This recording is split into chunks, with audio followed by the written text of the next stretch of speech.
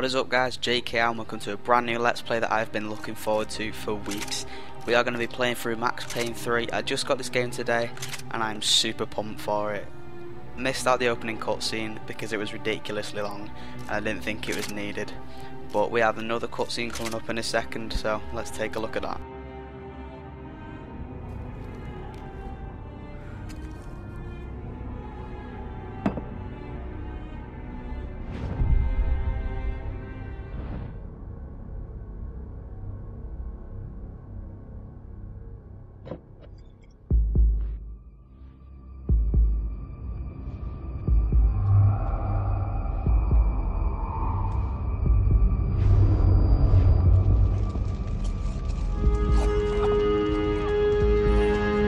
So I guess I'd become what they wanted me to be. A killer. Some rent-a-clown with a gun who puts holes in other bad guys. Well, that's what they had paid for, so in the end, that's what they got. Say what you want about Americans, but we understand capitalism. You buy yourself a product and you get what you pay for. And these chumps had paid for some angry gringo without the sensibilities to know right from wrong. Here I was, about to execute this poor bastard like some dime store angel of death. And I realized they were correct.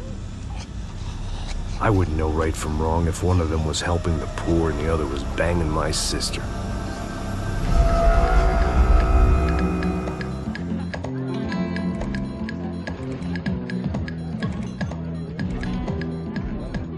I'd arrived in Sao Paulo a few weeks before. I was working a protection detail for the kind of people who need protection in a town like this.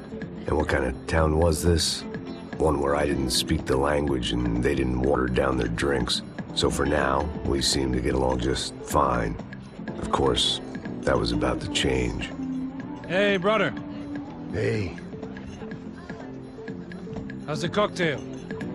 it's scotch. I never mix my drinks. Well, at least not on duty. Something like that.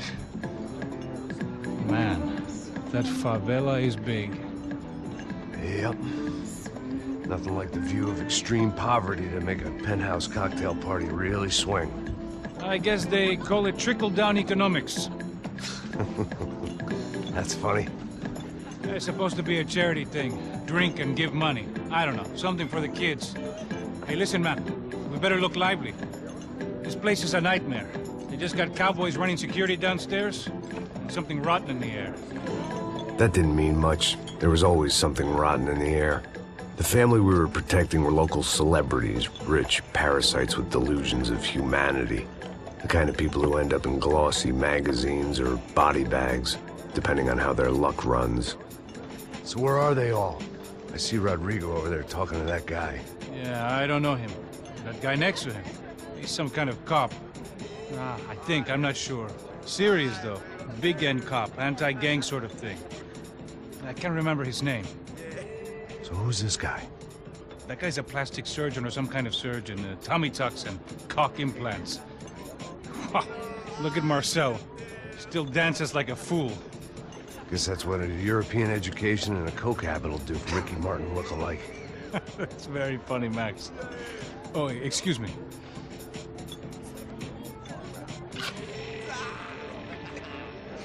I was mostly working for Rodrigo Branco, a local businessman. Built things, did some charity, had things named after him, won awards, owned things, people. One of the trophies he had won was his wife, Fabiana. She was hot and wanted to be dangerous. Some good genes trying to fight their way out of a cesspit. She'd married well and was now at leisure to regret her good fortune. They got along as well as any rich workaholic and his younger airhead wife tend to get along. They mostly ignored each other. She spent a lot of time with his cokehead younger brother, Marcelo. He was a good time guy if your idea of a good time was an expensive suit, a bottle of champagne, and nothing between the ears. The middle brother, Victor, had just walked in. He was a local politician. Guy was smoother than an oil slick on an iceberg and about as toxic. The rest of the crowd, I didn't know, but I could imagine the types. People who know if they drink enough, they won't have to feel guilty about their good fortune. Suddenly, things turned real ugly. Felt like our hangovers arrived right on cue.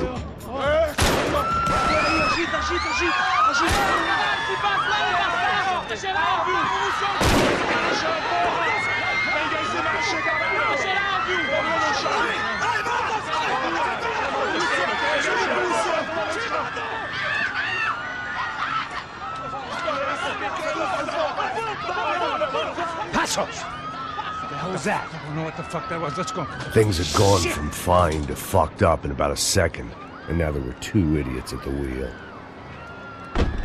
Clear.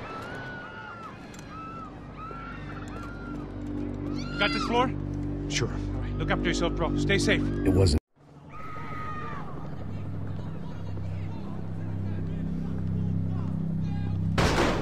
I hoped I hadn't lost my edge, along with everything else. Terrible It was time to choose a nasty fall or a bullet to the head.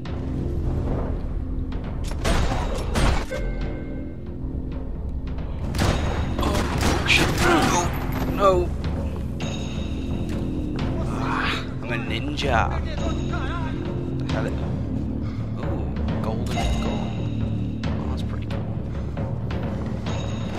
Take cover? Oh,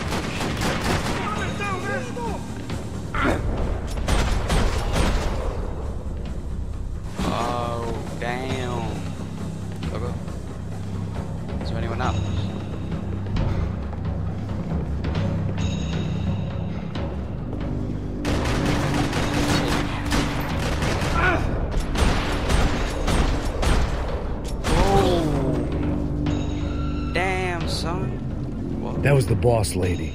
Only this time she wasn't calling for more vodka in her Cosmo. Ah,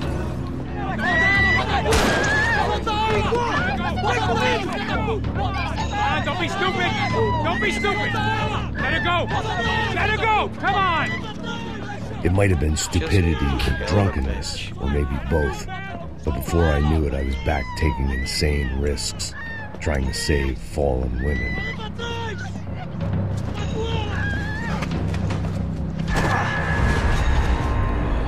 oh, Max Payne's a boss, man.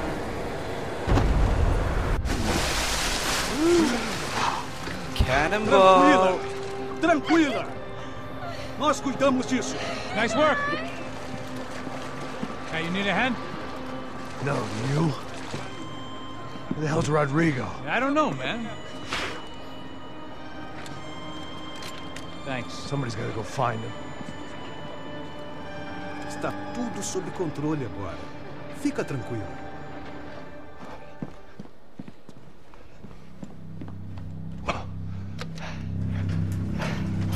I imagine the elevator doors opening to a firing squad of muzzles.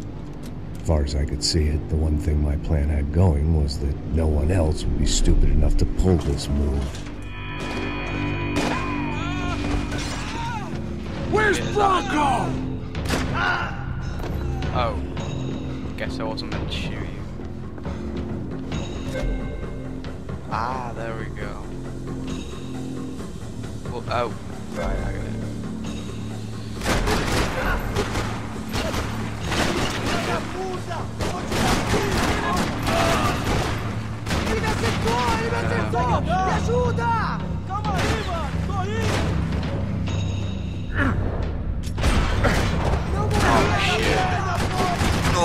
I got it. Oh, shoot him in the legs. Fuck. Oh, bad idea, bad idea, bad idea.